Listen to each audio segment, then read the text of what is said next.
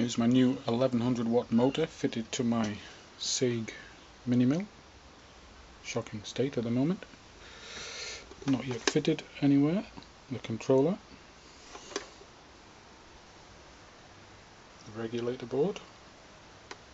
It's going to be going on the back of the mill in place of the other one. I think I'll just put this up on the wall somewhere. Keep it off the mill. Just to show it in operation.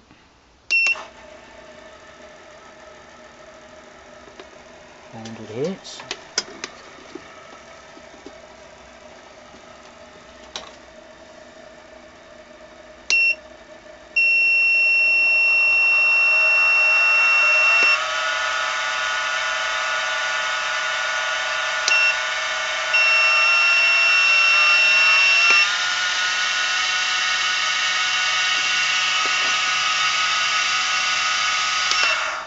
Nice fast stop.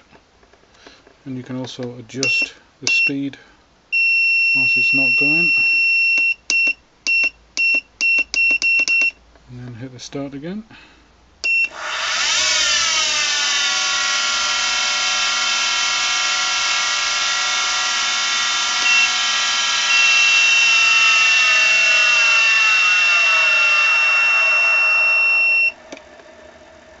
Back to the 400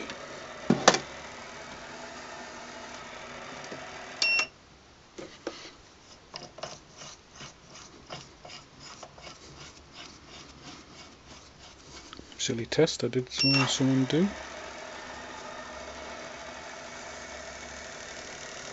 Ah! Try. Ow.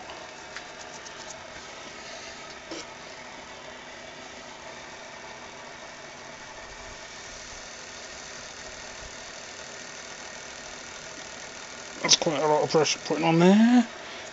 Womp womp. So it definitely didn't stall out with the hand pressure.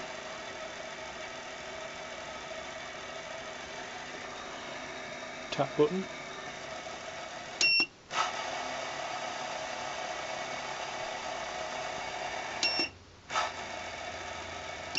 At the moment I've got my forward and reverse mixed up.